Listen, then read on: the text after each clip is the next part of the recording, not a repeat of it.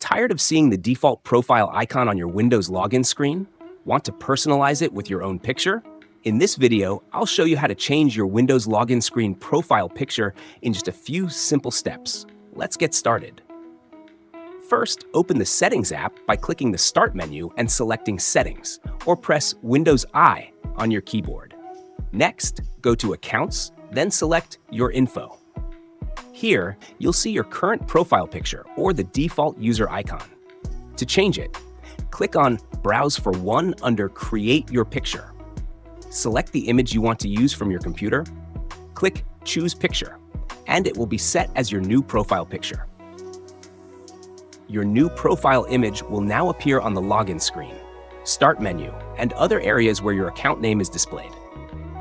Tip for best results, use a square image with a clear, high resolution photo of yourself or an icon of your choice.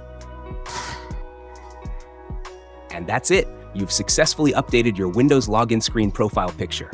If you found this tutorial helpful, hit the like button, subscribe for more tech tips, and let me know in the comments if you have any questions. Thanks for watching, and I'll see you in the next one.